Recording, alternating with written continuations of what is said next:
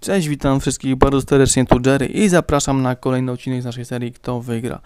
Dzisiaj mówimy walkę, która odbędzie się w Filadelfii pomiędzy Alejandro Luna a Stevenem Ortmundem.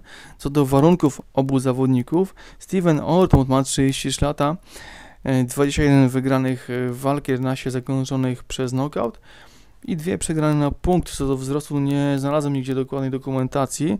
Natomiast po, wnioskując po ostatniej walce z Hermen Zenem, który był e, wyższy, e, miał 175 cm wzrostu, Steven ma tak około 169 cm.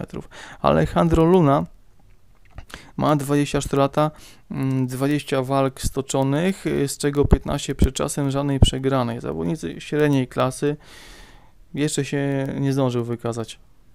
Co do wzrostu, również nie było dokumentacji.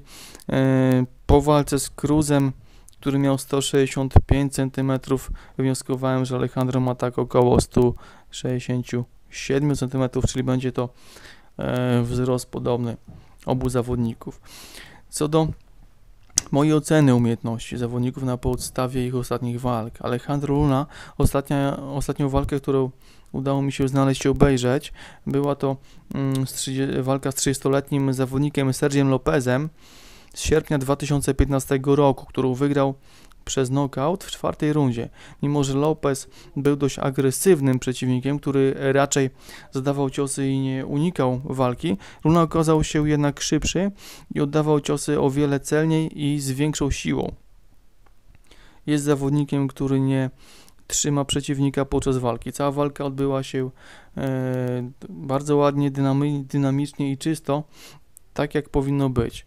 Mi trochę brakowało Luny uników. Steven Ortmund. Ostatnią walkę stoczył e, z rówieśnikiem Markusem e, Hermenezem. E, wyższym około 6 cm właśnie, zawodnikiem nie za szybkim, średnio agresywnym. Steven w tej walce pokazał się jako zawodnik, który prze do przodu i zadaje ciosy, raczej nie cofa się. Okazał się również szybszy i bardziej skuteczny od Markusa. Podsumowując Stevena i Alejandra. Steven jest zawodnikiem w pełni sił, 33 lata, e, szczyt kariery, e, bardzo zdeterminowanym.